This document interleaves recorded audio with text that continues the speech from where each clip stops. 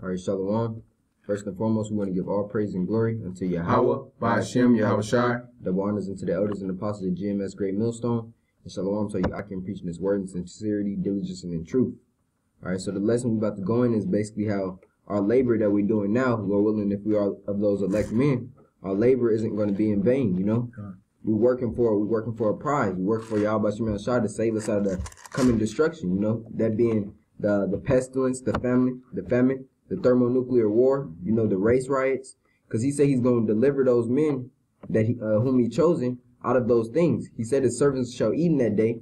And why shall his servants eat in that day? Because they've labored and done the work of the Father to receive their reward in the time in the due time. You know. So, Khan, God, that's I got a first script. Um, this is First Corinthians chapter 15, verse 58. Therefore, my beloved brethren, be ye steadfast, unmovable, always abounding in the work of the Lord Yahweh, for so much as ye know that your labor is not in vain in the Lord. Khan, it says be steadfast, be unmovable. You know, uh, Revelations it talks about uh, how guys uh, aren't supposed to be lukewarm. You're either supposed to be hot or you're supposed. Uh, if you're not hot, then you cold. You know. And it says be steadfast in this word. And why is that? Because this word is the only way through through the spirit and power of Yahweh Shai that you're going to receive unto salvation. You know. If you're not out there tilling the field and harvesting, you know, and putting in the hard work, then you're not gonna get the the rewards of those crops. You know. you're not gonna reap the you're not gonna reap the benefits. Khan, and what are And the benefits is it's a lot. Is the, the kingdom. You know, brothers want to be. You want to be. We want to be joint heirs with Yahweh Shai in, in mm-hmm. the kingdom. that's right. And if we not, if you're not doing the work, you're not putting forth your all. You're not, you know, hiding this thing. You know, you're not, you're not going to reap the benefits. You're going to come back in the kingdom, but you're not going to be where you where where the men of the Lord, you know, hopeful elect, Mhm. going to be in the kingdom. and you're gonna be shamefaced, you know, because you gotta come back through those those loins of those elect men, you know. So if you're not putting out the work and not doing the work, Yahweh Shem Shai said unto I believe it was Peter, he said, uh, "What shall I do, Lord?" And Yahweh Shai told him, "Uh, feed my sheep." Yep. You know what does that mean? That means go out on highways and hedges, you know, go out in chief place of concourse and preach unto the people. Uh, if you, he said, if you love me, uh, Kind, you know, feed my sheep. kind, the water for uh, clean that up for him, bro. He said, "If you love me, feed my sheep." And the sheep are uh, the elect of Israel, you know. Kind. I gotta, uh, I gotta pre to back you up, but it's Isaiah 65 and 13. Therefore, thus saith the Lord, Behold, my servants shall eat, but ye shall be hungry. Kind and that's talking about in the times to come. It says the servants shall eat, and who are his servants? Those men out there preaching in sincerity and diligence the true gospel of Yahweh Shai 100%. Those are those are the true the true men out there that are, are trying to reap a reward for doing the work of the Heavenly Father. Like this picture stay right here. It say hard work. Yeah, this is hard work, you know. This ain't for just the average Joe.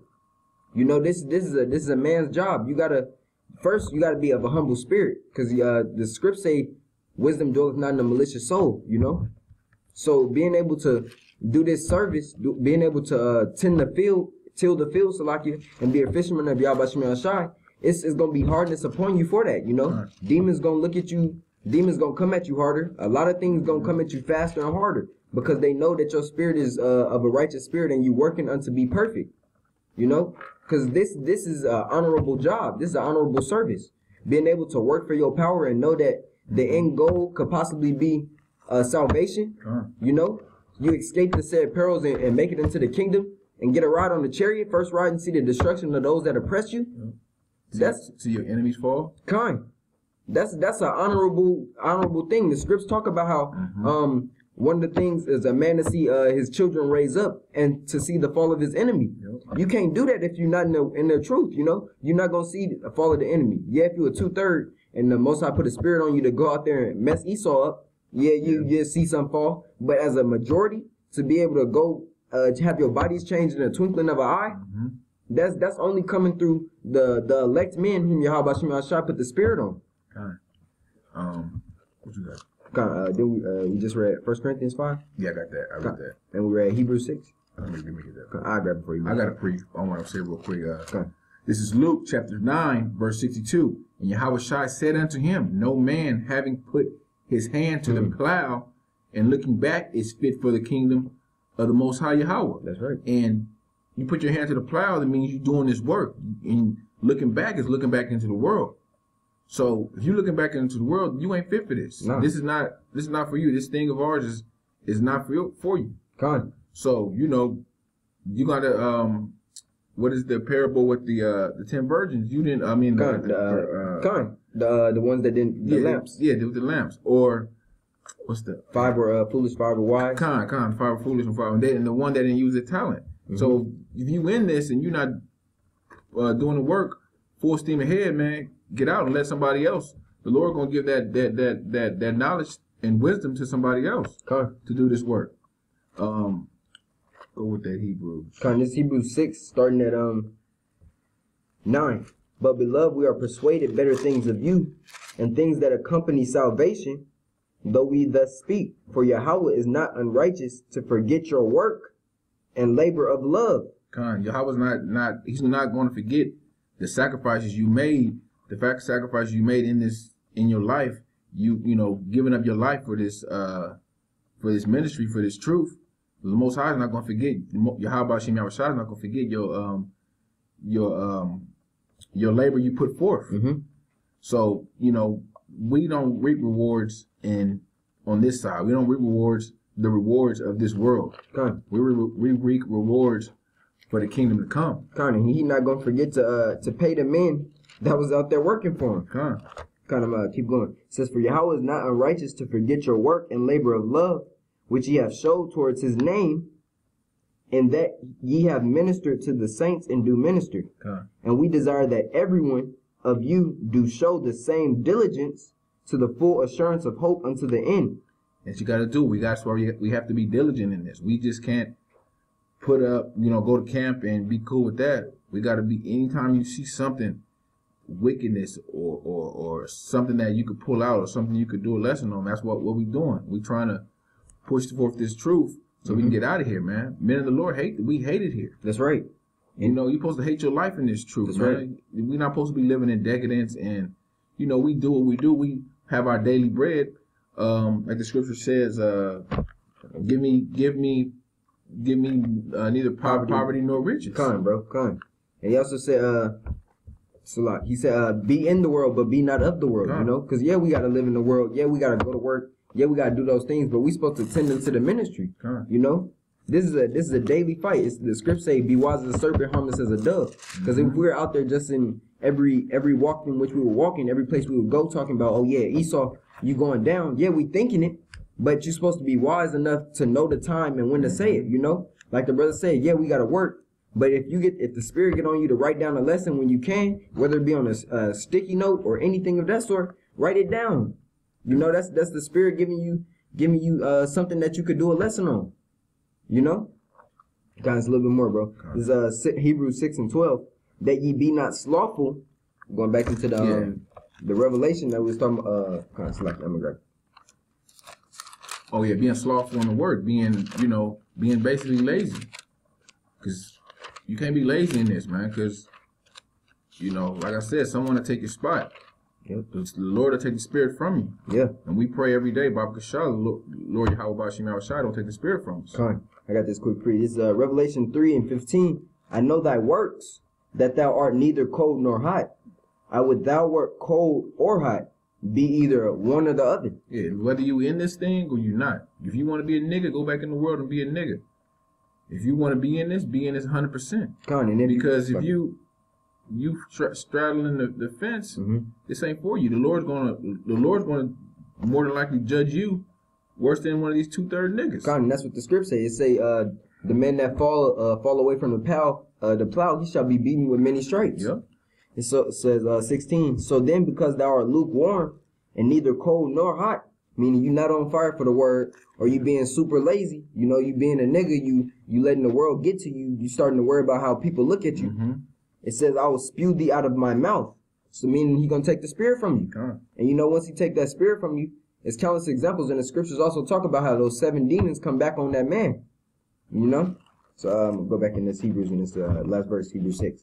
This Hebrews 6 and 12, that ye be not slothful, slothful, slucky, but followers of them who through faith and patience inherit the promises. And that's what we're trying to do, inherit the promises, the Con. promises of the kingdom. That's right, bro. The promises of, you know, everything that come with the kingdom. Mm-hmm.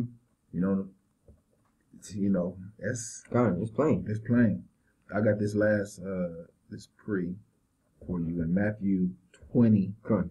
verse two. Yeah. And when he had agreed with the laborers for a penny a day, Mm-hmm. he sent them into the vineyard. Con. And this is Yahweh talking.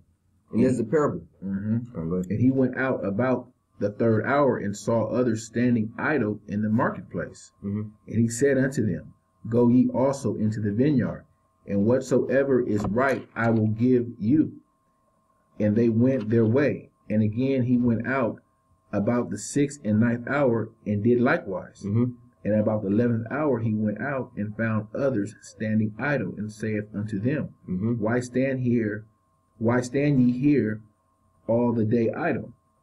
They say unto him, Because no man hath hired us. Mm-hmm. He saith unto them, Go ye also into the vineyard, and whatsoever is right, that shall ye receive. So when so when even was so when even was come, the Lord of the vineyard saith unto his steward, Call the laborers and give them their hire, beginning from the last unto the first. Mm-hmm. And when they came, they were hired about the eleventh hour. They received every man a penny. Con. So this whole parable is basically talking about the men that are laboring, no matter what. Um, and it also goes into the elect the men that are out there preaching on the highways and hedges, and the men that are out there doing the work and uh believing in Yahweh Shem Shai fully. They all going the elect. You know, it's talking about the elect. They all gonna get that that penny, which is that salvation. Yeah. You know, it don't matter what time you come in. Mhm. If you're in and you and he seal you, then then you get it. You know, And he have mercy on you, you gonna get it. Con, because you got to be predestined to this. Well, everybody is already numbered or uh, got the Ezekiel nine and four mark, the mark of exemption. Yeah. You're either uh, marked for condemnation or marked for exemption for Yahweh Shem Yahshua to beam you out of here. You know, so you gotta. This is this is part of the work. Some men gonna be in earlier. You know, the apostles been putting in work for over thirty plus years. Mhm. You know, Some men may just come in, but exactly. as long as you're doing the work, Mm-hmm. you know, and the Lord will have mercy on you if you know you you um deem worthy of salvation. Con, because coming into this, this is a this is a blood contract with Yahweh Shai, you know? This is his uh you're in being in the truth, you're hoping that the blood of Yahweh Shai covers you. Yeah. You know, because if it don't, then you dead. You know, he, he gonna kill you off. Mm-hmm. It says uh back in two, it says when he had grieved with the laborers for a penny a day, he he's that's a contract. Yeah. You you sign that agreement. This is an agreement with Yahweh Shai that I'm gonna work until the end comes. You know, I'm gonna endure until the end comes. So if you break that contract, that that sword must fall upon you. Con. You know? Con, you got uh, another creeper? Um, that's all I had. I'm gonna bring one up. Select. Okay. This um First Timothy, uh, it's like it. Second Timothy, two and three.